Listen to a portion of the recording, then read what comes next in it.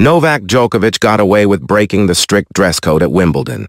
Novak Djokovic surprised the center court crowd when he turned up for the second day of Wimbledon with gray strapping on his knee, clashing with the all-white dress code associated with the Summer Slam.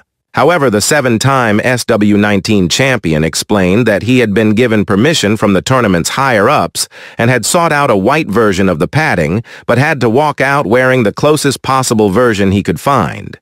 But with Scottish wildcard Jacob Fearnley up next, likely to be on the main stage once again on Thursday, Djokovic did say that he told the Wimbledon brass that he would do his best to don white strapping after pointing out a more flagrant infringement by Frances Tiafoe.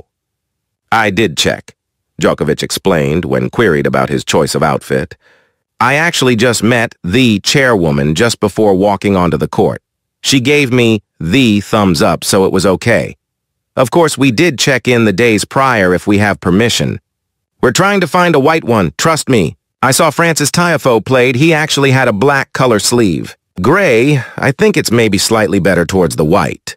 Yeah, I know it's not ideal. I like to go all white and I like to respect the rules. But I got the permission.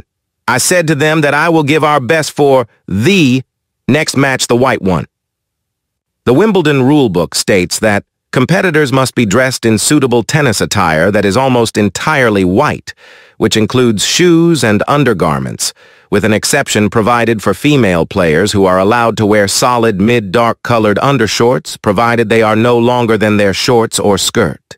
The regulation also extends to medical supports and equipment, such as Djokovic's knee strapping, though the rules are slightly more relaxed and state that they should be white if possible, but may be colored if absolutely necessary.